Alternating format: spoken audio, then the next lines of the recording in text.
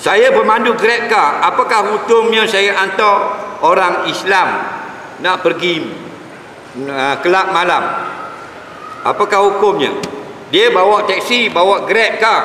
Hukumnya jika kita tahu orang nak buat maksiat, tak boleh ambil.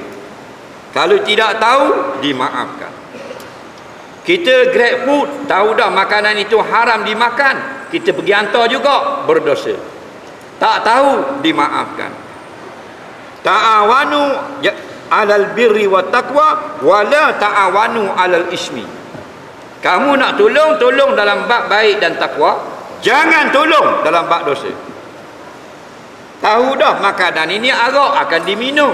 Arak itu Allah haramkan. Innamal khamru wal maisiru wal ansabu wal azlam rijsun min amali syaitan. Arak dan judi itu adalah kotor, kerja syaitan. Mu tahu dah, mungkin juga. Nampak? Maka kita dapat saham kongsi dosa. Nah, ha, tu hidup nak pegang dengan Islam, Nabi kata seperti menggenggam bara api.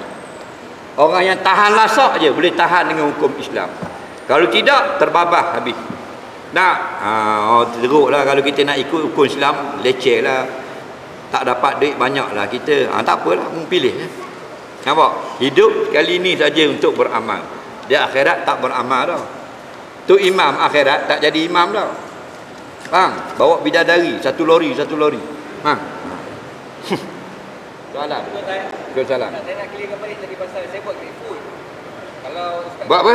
Saya buat great food. Great food. Grab food. Okey.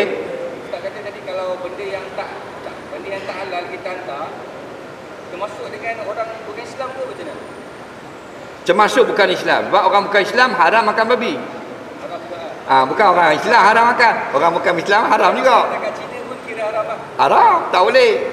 Salah saya tahu. Ah, ha, yang haram makan haram bukan orang Islam, manusia.